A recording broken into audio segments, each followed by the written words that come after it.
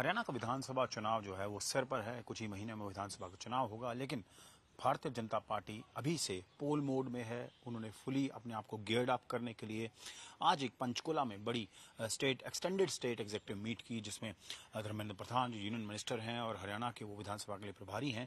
Union home minister Amit Shah भी पहुँचे वहाँ पे स्ट्रेटेजाइज करने के लिए विधानसभा इलेक्शंस को।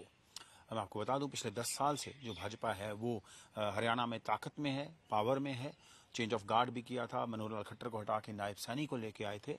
लेकिन इस बार जो विधानसभा चुनाव हो उसको बहुत ही सीरियसली ले रही है भारतीय जनता पार्टी। अगर आपको इसको डीप एनालिसिस करें तो क्योंकि लोकसभा में पिछली बार अ, 2019 में 10 में से 10 सीट बीजेपी जीती थी लेकिन इस बार 2024 में अभी जो लोकसभा चुनाव हुए हैं वहाँ पाँच सीट बीजेपी जीती और पाँच सीट कांग्रेस जीती। इसका मतलब इन किए हैं कांग्रेस ने हरियाणा के अंदर जो कि बीजेपी के लिए एक वरी था। मुझे लगता है यही कारण है लगभग अक्टूबर में इलेक्शन है और उससे पहले ही कुछ महीने पहले ही बीजेपी गेयर अप कर रही है।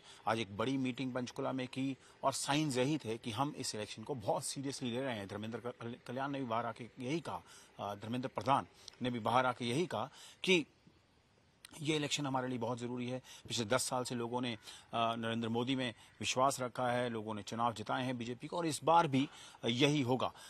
ये बड़ा इंपॉर्टेंट है कि लोग वोट करते हैं, नहीं करते हैं, लेकिन एक चीज़ तो तय है कि स्ट्रैटेजी जो है वो बनाने में अभी से बीजेपी जुट गई है। इसके अलावा चेंज ऑफ़ गार्ड हुआ। मनोहर लाल खट्टर के चेहरे को हटाकर, नायब सनी को लगाया गया। उसके बाद लोकसभा में जो है पाँच सीटें जो हैं, वो गई और पाँच कांग्रेस जीती, पाँच बीजेपी जीती।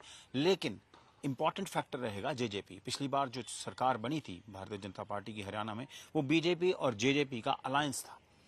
लेकिन अब कुछ समय पहले दोनों का अलायंस टूट गया है। उस गैप को कैसे कवर करेंगे? क्योंकि 10 सीट बीजेपी जेजेपी की थी, वो तब भी मिलाकर साथ सरकार बनी थी। उस गैप को कैसे कवर करेंगे? उस वोट बैंक को कैसे कवर करेंगे? आगे जाते, जाके अलायंस का चांस बनता है, नहीं बनता है, वो तो टाइम विल टेल पॉलिटिक्स में कुछ पता नहीं होता है।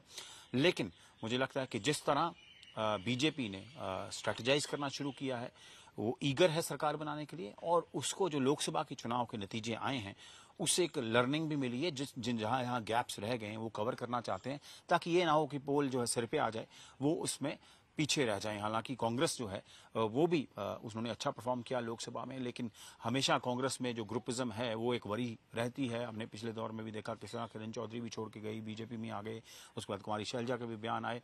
सो अगर हरियाणा की पॉलिटिक्स तो देखा जाए तो ये बहुत इंटरेस्टिंग है। नायब सैनी के लिए भी स्टेक्स बहुत हाई हैं, क्योंकि वो मुख्यमंत्री बने इलेक्शन जीते हैं अब, और अब वो डेफिनेटली चाहेंगे कि उनके चेहरे पर चुनाव हुआ, हालाँकि पार्टी ने किसी तरह किसी तरह का संकेत नहीं दिया, लेकिन वो चाहते होंगे कि जो भी तीन चार महीने की परफॉर्मेंस है, वो, उसका फ़ायदा जो है बीजेपी को हो। सो आज की मीटिंग बहुत अहम थी क्लियरली बोला गया है सभी को कि आप इलेक्शन के लिए काम करें विनिंग के लिए काम करें, लोगों के बीच में जाएँ विनेबिलिटी फैक्टर देखें और उस हिसाब से सीट्स भी मिलेंगी और उस हिसाब से अगर बीजेपी अपना जो भी काम दस साल में उन्होंने किया, अगर ट्रांसलेट कर सके तो शायद वो लोगों को इम्प्रेस कर पाएँगे। लेकिन ऑपोजिशन कांग्रेस और दूसरी पार्टियों को भी लाइटली नहीं ले रही है बीजेपी कैमरा पर्सन गिरीश के साथ चंडीगढ़ से असीम बस्सी।